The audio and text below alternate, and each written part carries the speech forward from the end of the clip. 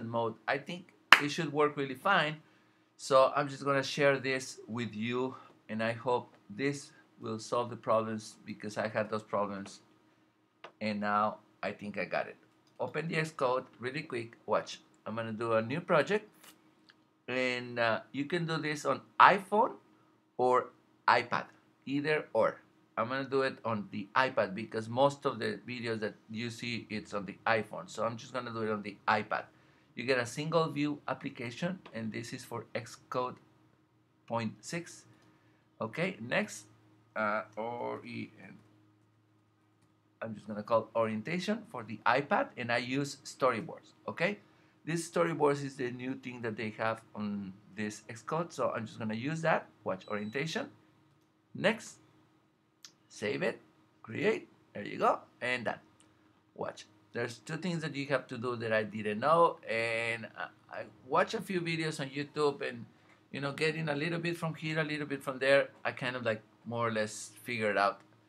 Okay, so you have right here, when you just open the file, you see these buttons right here, portrait, upside down, landscape left, and landscape right.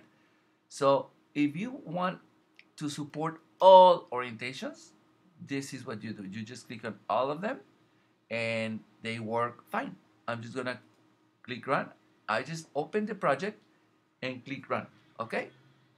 I didn't do anything, just open it and see all the buttons there. They supported that and then you can see the simulator, watch right here and it's gonna open like this. Open, there you go, done. You see on the top right here, you see the bar, this bar on the top.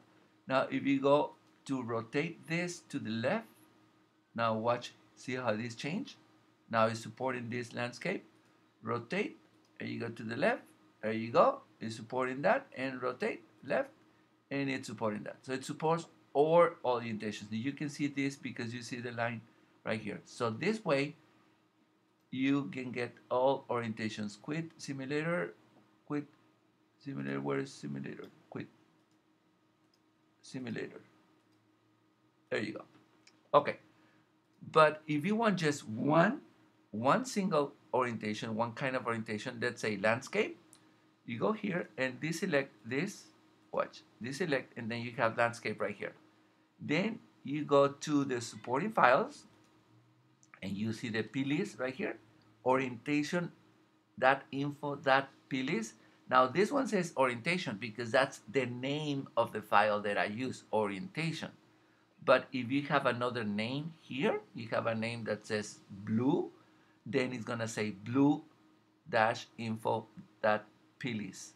So this is the name, okay? Because I when I was watching one video before, they say this go to this that plist, and I was trying to find that specific name. So it's not this name is the name that you name your project.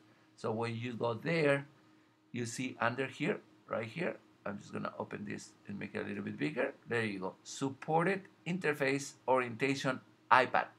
So when you go there, you're gonna see item zero and says landscape right home button. This is the one that you're using right here. There you go, you're using just one. So if you want the program just to have that orientation, that's what you do. This and you make sure that one it is there when you go to the storyboard this is what you have to do. When you go to the storyboard I'm gonna make this one big so you can see it. Now you see the iPad it's in portrait mode right here. You want to change that? Okay. You go to view controller right here to the view controller and when you click that you go to the right right here in this place it says orientation. And then you go to landscape. Click on landscape and this will change. There you go. Now it changed to orientation. There you go. Now what I'm just gonna do is I'm just gonna put one little image. I'm gonna get this out of the way. One image so you can see that works. I'm just gonna get this image that I have in my desktop right here and I drag that over to the supported files and I hope that you already know how to do that. If not, you're just learning how to put an image. Finish you copy the image and then I go to this area and then select an image view. It's going to be right here. There you go. And just drag it. Look it turns blue. There you go. Done. Okay. And then I go to the image in this top right corner. Go there and I find my name is a screenshot. I just got a screenshot from a little piano. That's it. It's all blurry and everything because it's not the right size. But this is just a little test. And then I go to where? Button. I get a little button. Watch right here. And just drag the little button there.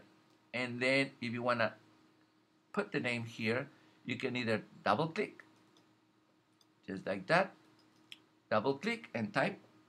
Uh, I'm gonna put uh, center uh, button center. Okay, that's it, button center. And I just drag this one, and you see the little line, and then center alignment. There you go, center. That's it. So this button is down on the center, right? Okay. So when I go there and go to run this, then we'll see the button there on the landscape mode. And if you turn that to portrait mode, it shouldn't turn. It should stay on that look. See, it just open and it opens in this mode. That's what you want, right? On the landscape. I know, I know. If you've never seen this before and you were trying to find this, I know how you feel really happy because that's the way I felt. Now you go here and people rotate this to the left and guess what? Nothing is going to happen because your landscape is set to work in this mode, okay? And you have it set right there. Now you go again, rotate left, nothing, and rotate left, nothing, and rotate left. There we go. So now it's working in only one mode. Now, if you want to add more of this, I'm just gonna go here and you just add another view controller. There you go. Add it. There you go. This, the new one, will be in portrait because I guess that's the default or something. So you want to change that? Well, you just go here to orientation and go to landscape and you have another landscape more. You just put it there and then you start working your storyboard. We'll watch that in another videos but that's how you do it. So you set your your orientation mode this way. Okay, guys. So I hope that helped because I was trying to find that answer for a long, long time, and finally I got it. So I just want to share this with you, and I hope this works. So I still I'm working on the sound video, how to add sound video and uh, and the animation. I haven't been able to do animation, so if anybody knows, please try to contact me and uh, to, we can help each other. Okay? See you on the next video, guys.